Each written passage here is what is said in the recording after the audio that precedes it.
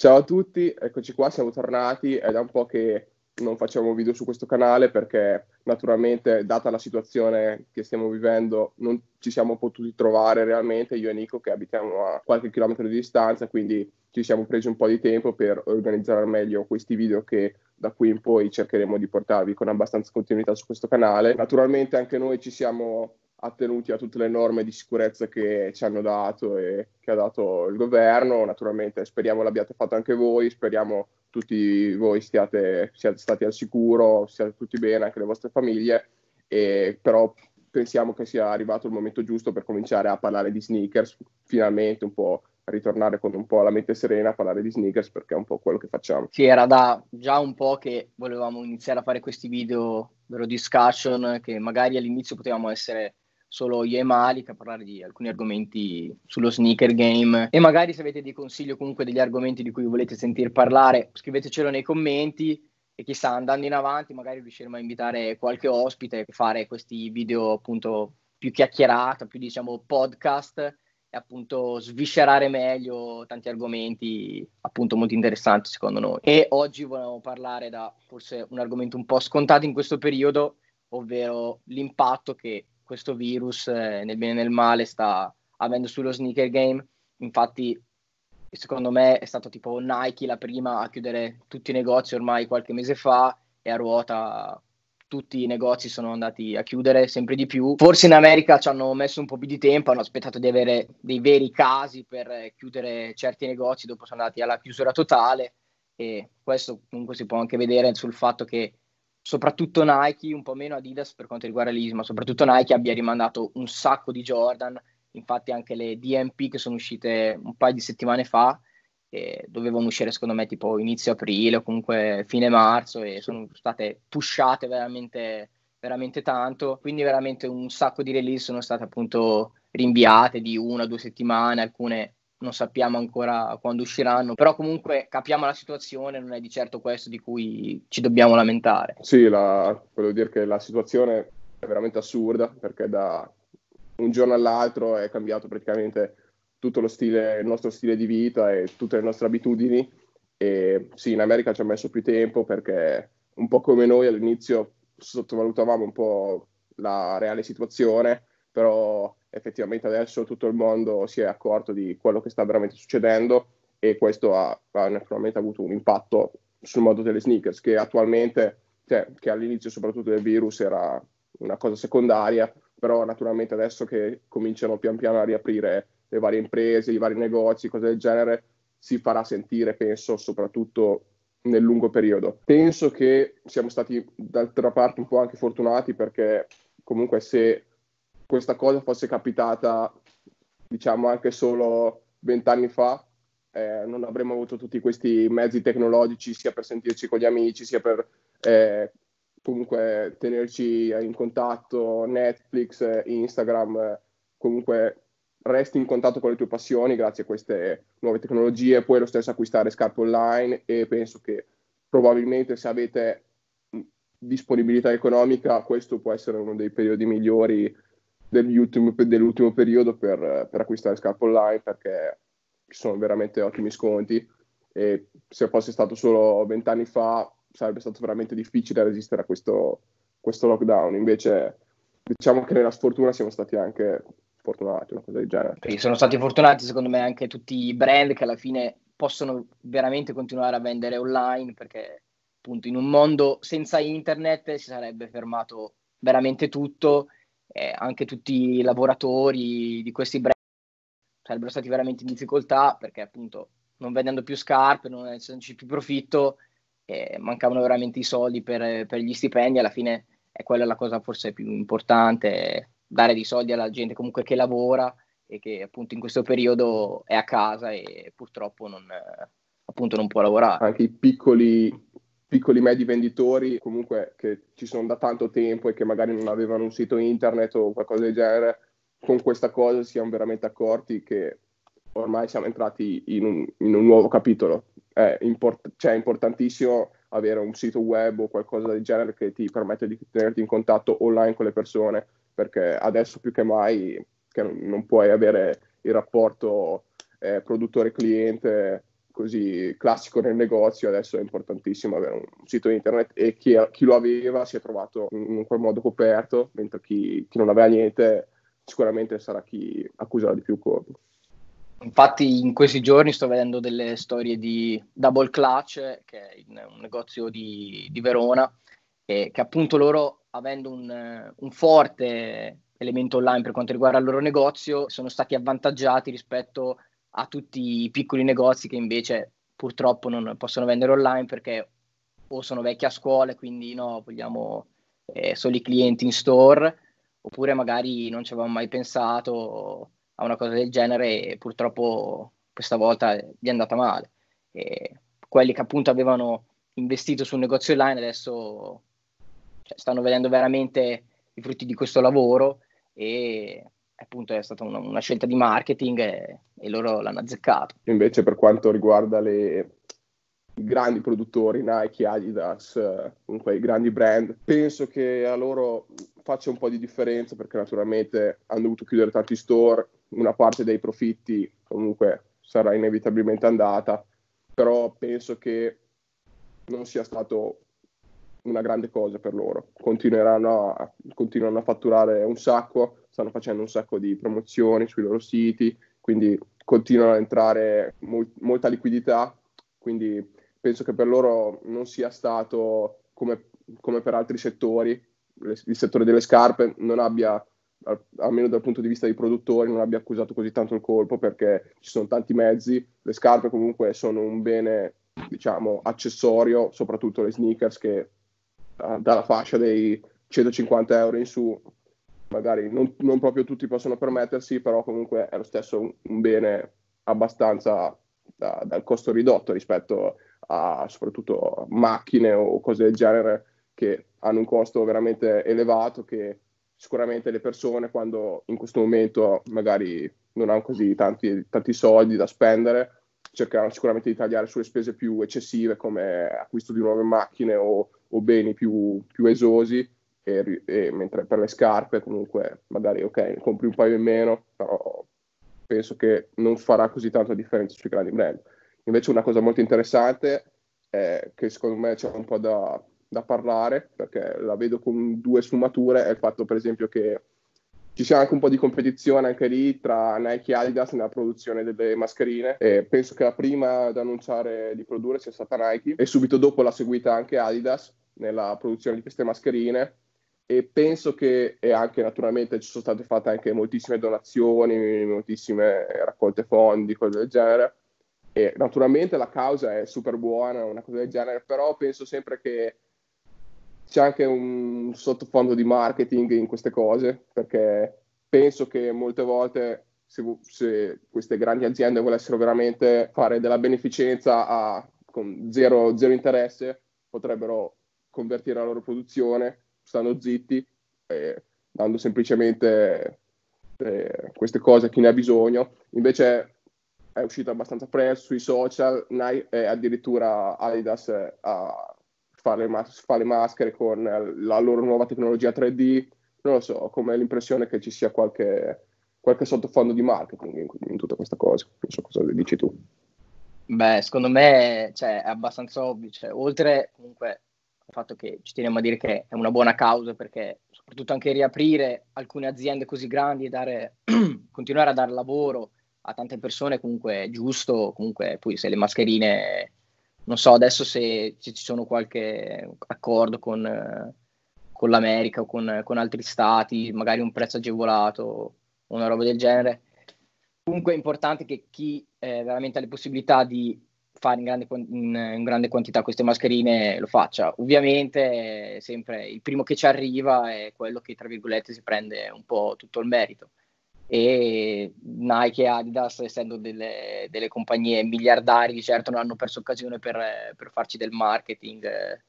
Cioè, era anche forse un po' abbastanza scontato. Però comunque anche New, New, New Balance, adesso che mi viene in mente, forse New Balance sono stati veramente i primi e penso che cioè, abbiano eh, come si dice, abbiano avuto un grande ritorno di visibilità da questa cosa di, dell'essere primi. Cioè è bello, una cosa bella, però non mi piace del tutto che anche molti grandi marchi di moda come mm, la, Armani.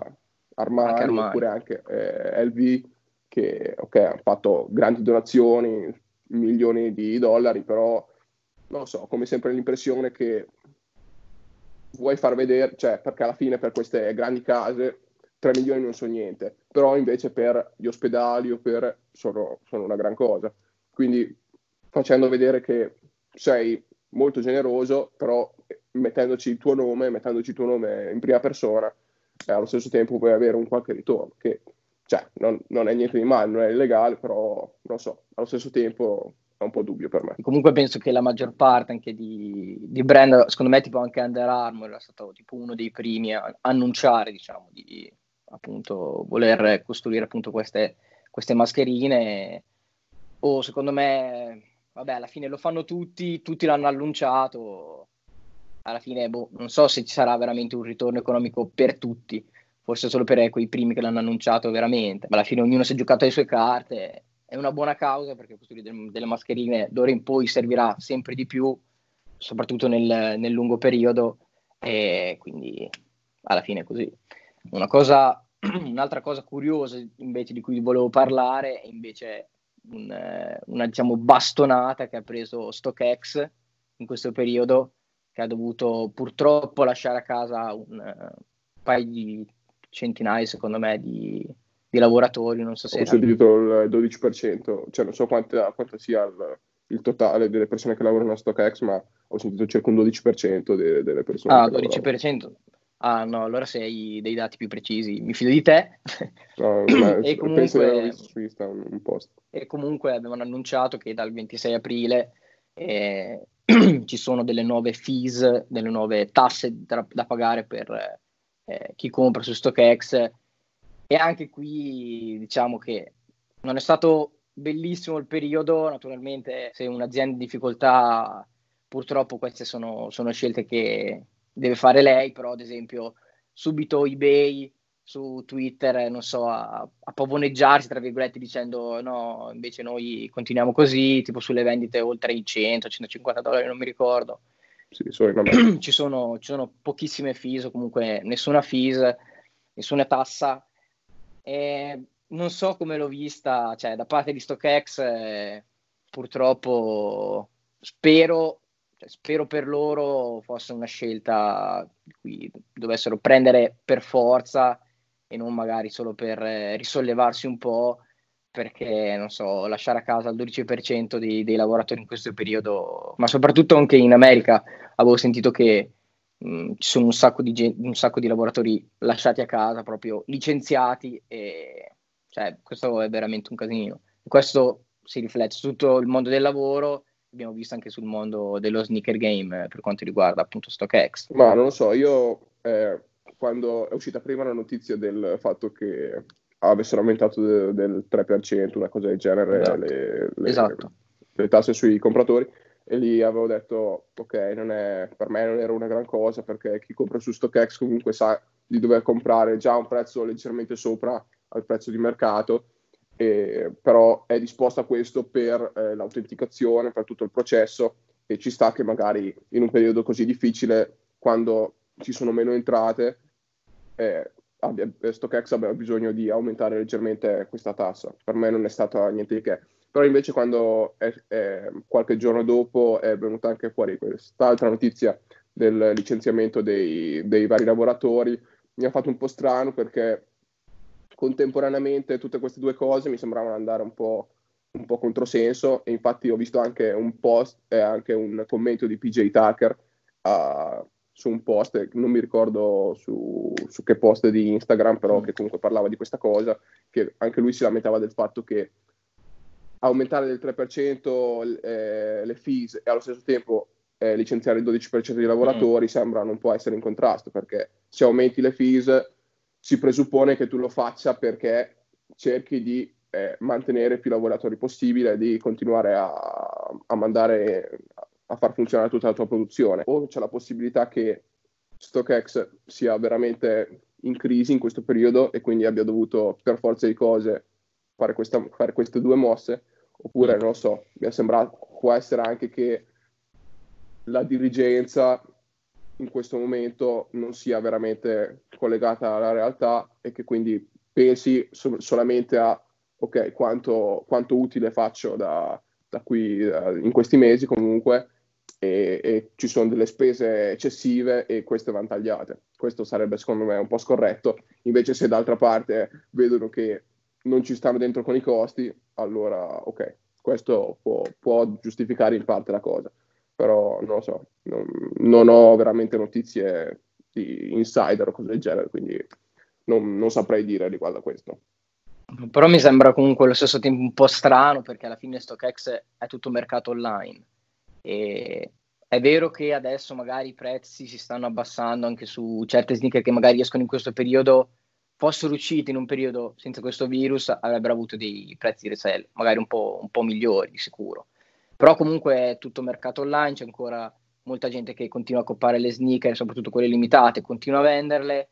Non so, secondo me alla fine sarebbe bastato solo aumentare forse un po', un po', le fees e magari mettere anche in cassa integrazione qualche, qualche dipendente, ma lasciare a casa veramente il 12% secondo me, secondo me è veramente troppo. Penso che eh, StockX abbia due o tre house, non so come, come dire, mm. posti dove comunque autentica le sneakers e non so quanta, quanta, quanta, quanti lavoratori ha effettivamente, avrà qualche lavoratore sul, sul, sito, qualche lavoratore per autenticare le sneakers, però non so, mi, mi fa un po' strano perché comunque non è che eh, hanno poco interesse sulle sneakers eh, che vendono, hanno sia una tassa sui venditori, sia una tassa sui compratori, quindi comunque esatto. cioè, il loro profitto da ogni vendita di sneakers è tanto e sono il maggior venditore di sneakers eh, di secondi parti nel mondo. Quindi cioè, non pensavo che la situazione fosse così difficile, anche perché altri, altri venditori,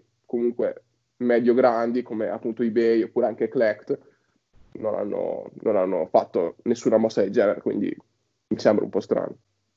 Che altro nell'ultimo periodo, secondo me, StockX aveva fatto anche un, una specie di accordo con Nike per eh, Questo, sì. eh, le release nel, nel, futuro, diciamo, affiancare al, ad ogni scarpa, diciamo, un suo QR code e vedere quali negozi tramite questo QR code spediscono più, più scarpe a StockX, quindi per limitare il backdoor. E Questa è, è un'iniziativa che secondo me è molto bella perché alla fine il backdoor secondo me è una delle cose peggiori che ci sia ne, nello sneaker game attualmente perché per me non c'è, come dico sempre, non c'è assolutamente niente di male nel resell, però quando tante paia vanno semplicemente backdoor perché un proprietario di un negozio ha un amico oppure direttamente il proprietario stesso decide di non vendere al pubblico ma eh, vendere direttamente sul mercato secondario per raddoppiare o anche triplicare il valore della scarpa. Eh, questo cioè, non è per niente meritevole da parte del negozio stesso. Quindi... Sì, quando diciamo non dai l'opportunità, stessa, le stesse opportunità a tutti di, di coppare una scarpa, sì, ma semplicemente ai tuoi amici gliela dai così. Sì, ok, fossimo dalla parte di quelli che magari ricevono le scarpe in backdoor e diremmo no, vabbè, ci sta, eh, il mio amico gestisce il negozio così. Però naturalmente, vedendolo dal punto di vista del, dello sneaker game totale, è un po' uno schifo, eh, c'è poco da dire. Però anche lì non so sinceramente quanto questa cosa possa influire perché non so, magari ok, sto che si fa così, ma gli altri, gli altri punti vendita magari no, come Collect o anche semplicemente venderla a privati. Non so, forse limita un po' le vendite sì, pre-release, limita, magari. Limita magari le vendite pre-release perché eh, magari eh, certe scarpe prima di essere rilasciate qualche giorno prima hanno dei prezzi molto più alti, a volte hanno dei prezzi più bassi, a volte invece succede che abbia, abbiano dei prezzi più alti, magari uno se la prende in backdoor, la spedisce su StockX e ci fa molti più soldi di quanto ce li possa fare magari una volta rilasciata la scarpa. Quindi forse questo, questo fenomeno sarà un po', cioè diminuirà un po', però non so sinceramente quanto possa terminare del tutto, probabilmente non succederà. Non so, okay. se, non so se, tu avevi qualche altro... Io avevo scritto che che già questo anno, che già questo anno all'inizio non sembrava super promettente, adesso con tante release che vengono posticipate, cose del genere, eh, probabilmente sia il 2020 che il 2021 dal punto di vista delle release e delle collaborazioni non sarà un granché perché naturalmente non, non si possono stringere molti contatti in questo periodo quindi pure non si può lavorare veramente ad esempio tra Nike e un altro collaboratore mm. a stretto contatto, quindi eh, si farà un po' più fatica a vedere, secondo me, grandi sneaker, grandi collaborazioni nel, nel breve periodo, poi dopo tutto si risolverà probabilmente tra, tra due anni. Sì, o magari co- cioè, ci saranno magari collaborazioni molto più semplici per quanto riguarda forse solo qualche colorazione speciale dedicata, non so, a un Travis Scott, a un, a un, a un giocatore, a, un, a, una celebrità, o comunque cose abbastanza, diciamo, semplici da preparare, eh, anche lavorando a distanza. Però, non lo so, forse un lavoro fatto come ad esempio fa Virgil, di appunto stare proprio sulla scarpa, lavorarci, sentire tutti i suoi collaboratori, andare da Nike così, forse sarà, sarà un po' più difficile. Però tra l'altro secondo me Virgil aveva già una nuova silhouette in programma, quindi forse per un po' riusciamo a vedere qualche, qualche release abbastanza hit. Forse, sì. forse dovrebbero uscire le 4, si dice, verso settembre eh. o giù di lì comunque. E, boh, speriamo. E, però un'altra cosa mm. secondo me che sarà un po' strana è che di solito prima dei eh, qualche giorno prima, qualche settimana prima, anche mesi prima della release, si vedono sempre magari le celebrità o i giocatori indossare queste nuove scarpe che devono uscire super hyped up, eh, magari indossarle sul campo o nel pre-partita o comunque eh, eventi, concerti, Degli eventi, esatto. esatto e, e, quindi non si vedrà più. Quindi magari questo avrà anche un leggero impatto sull'hype che avranno vari tipi di scarpe, cose del genere, perché l'hype alla fine molte volte deriva dal fatto che molte persone collegano quella scarpa a un momento in cui vedono il loro personaggio preferito o qualche persona che è stata di ispirazione per loro indossare quella scarpa. Quindi non so, forse avrà un leggero impatto negativo sull'hype, che non per forza è una cattiva cosa, però questo esatto. spesso si ripercuote su IRSL e tutte queste cose. Quindi mi aspetto che sì, come sta un po' anche succedendo in realtà che le scarpe rilasciate da qua a probabilmente un anno, qualcosa del genere, avranno un resell leggermente minore di quanto ci si aspetterebbe normalmente. Anche perché comunque è un periodo abbastanza, senza abbastanza, un periodo di crisi, la gente ha meno soldi da spendere in, virgolette, beni di seconda, di, di non prima necessità, come sono le sneaker, che chiaramente non sono assolutamente necessarie. O forse con, ehm, per quanto riguarda nuove collaborazioni così, vedremo tanti on fit in casa, magari di LeBron, Travis o del Beckham Jr. Quindi sì, che... probabilmente vedremo, esatto, esatto, vedremo delle, delle, foto su sneaker su tappeti, invece che su red carpet, semplicemente sul carpet. Invece è l'unico che non, non si interessa di niente, continua sempre per la sua strada, è Kanye, che in questo periodo dopo praticamente una Yeezy ogni settimana tra 700, 380 e 350 V2. E tra l'altro le, le ultime colorazioni delle 350 V2 mi sembrano tornate un po' sulla via giusta. E, è, già qualcosa secondo me e ho visto che uscirà anche una colorazione a settembre nera con la midsole trasparente quella secondo me è veramente bella Azrael tipo una roba del sì, genere esatto. ho mancato quelle totalmente nere che secondo me ci stavano abbastanza, ancora non a livello delle bread, però secondo me abbastanza buone. Non è male. Quindi, quindi niente, per la 350 V2 si va per settembre, per la mia 350 V2 si va a settembre. Sì, devo ammettere, l'ho vista anch'io stamattina, hanno cominciato a postarle tutte, tutte le pagine Disney che, che seguo. Naturalmente ho visto, ma Malik, Malik Sambe piace questo elemento, vedi questa foto, ma comunque sono veramente fighe all'inizio la prima volta l'ho visto e ho detto, mm, ci penso o no? Poi ho detto, mm, no. Però non lo so, arrivare, a eh, settembre, arrivare a settembre dura, perché tra l'altro non so come, cioè, ci sono già foto on fit, so che è quel disgraziato che esce di casa adesso per fare le foto on fit alle Easy, però... Eh, te hai Beh. fatto qualche acquisto durante la quarantena, durante questo periodo? Beh, acquisti... Eh, di, di so, sneakers o... Ah, non so spoiler, se spo- spoiler un po' per il, per il canale, che sono sneaker eh, non personal, ma ah, sono okay. sneaker che volevo assolutamente vedere di persona. Per il resto, no, personal ho guardato qualche, qualche sito per vedere qualche sconto, ce n'erano veramente interessanti, però ho detto, mm, anch'io faccio uno spoiler. Come avete visto su Instagram ho postato una foto delle Kurt Purple che abbiamo, ne abbiamo acquistato un paio. Purtroppo le ho già vendute, quindi non sono riuscito a farci un video. E invece eh, personale, quando ho visto a che prezzo erano, ho detto devo farlo. Ho comprato magari faremo una, una, puntata di tanto fuoco poco soldo. Tanto fuoco so, poco soldo. Ho comprato a 100 euro precisi, precisi, eh, un eh, paio di Air Max 90 eh, volt eh, sulla sneaker app, non sul, sull'app di Nike, che ho visto che sono state rifatte completamente l'Air Max 90, infatti dovrebbero uscire l'Air Max 90 infrared eh, e quello è cop sicuro. Quello è cop sicuro. E quindi però non, non, riuscivo ad aspettare, poi sapevo che le infrared comunque le avrei messe poco, allora ho detto compro queste che comunque ci stavano veramente, la shape della scarpa è veramente bella, non l'ho ancora indossata purtroppo, però dicono che siano veramente molto comode, quindi sono contento del mio acquisto, dai. Beh, direi che abbiamo parlato abbastanza, sì, è inutile che guardi l'orologio. Abbiamo parlato, abbiamo parlato. no, abbiamo parlato. Eh, vediamo come viene questa prima puntata di questo, non so, dobbiamo ancora dargli un nome a questa, a questa serie, a questo nuovo format. Comunque, appunto, se avete magari delle altre, delle altre domande su questo, su questo argomento, magari scriveteci sia nei commenti ma anche su Instagram, perché su Instagram ogni venerdì facciamo una specie di QA, prendiamo 5 domande, adesso vediamo se prendere 5 o 10 e rispondiamo, magari così anche per tenervi compagnia in questa quarantena forzata.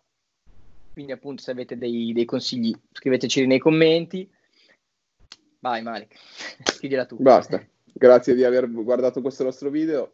Scriveteci appunto dei, nei commenti qualsiasi cosa, qualsiasi cosa che vi venga in mente riguardo al tema sneakers. Noi cercheremo di, in questo periodo di portarvi dei video come questo, discussion, cercheremo di portarvi qualche ospite relativo al mondo delle sneakers per comunque eh, creare un format eh, comunque anche qui che penso che non ci sia in Italia attualmente, cercheremo di sentire più persone, la loro opinione, cosa ne penso sul mondo delle sneakers, speriamo sia una cosa interessante per voi. Grazie per aver guardato questo nostro video, questa è l'MKix, ciao a tutti. Ciao a tutti e state a casa.